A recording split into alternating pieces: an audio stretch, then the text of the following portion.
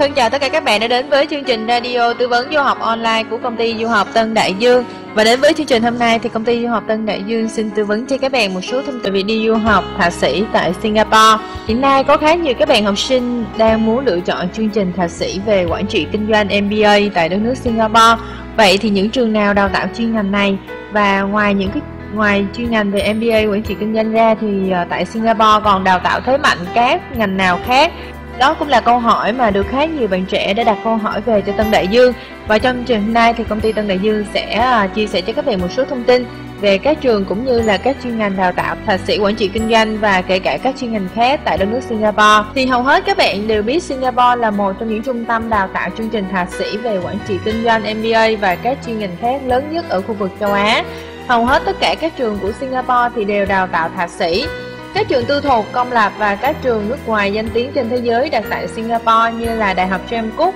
à, Đại học Curtin, đây là hai trường của Úc có trụ sở đặt tại Singapore hay là Học viện ERC Singapore. À, bằng cấp của các bạn sẽ nhận từ trường Wolverhampton của Anh Quốc hoặc là Học viện Quản lý Nan Giang.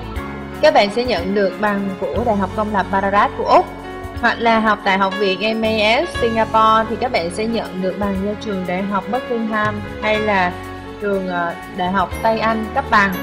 Tại Singapore thì có một số khóa thạc sĩ đòi hỏi phải có kinh nghiệm làm việc nhưng mà có những khóa học thì ờ, không yêu cầu kinh nghiệm làm việc của bạn.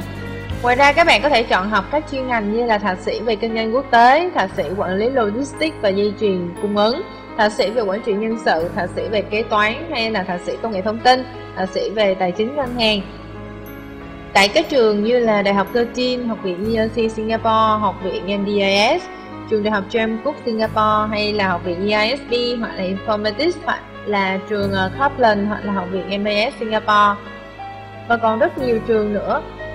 Và nếu như các bạn cần muốn biết thêm thông tin chi tiết về trường và các ngành học, thì các bạn có thể tham khảo tại website của tân đại dương.edu.vn hay là tdvn.com thì ờ, công ty Tân Đại Dương hiện đang là đại diện tuyển sinh chính thức của rất nhiều trường uy tín và đạt chứng nhận EduJet tại Singapore. Ngoài ra, các bạn cũng có thể lên ờ, trực tiếp tư vấn tại địa chỉ của Tân Đại Dương, đó là 902 đường Trần Hưng Đạo, phường 7 quận 5 hoặc là 148 1 Trần Quang Khải phường Tân Định quận Nhất hoặc các bạn cũng có thể ờ,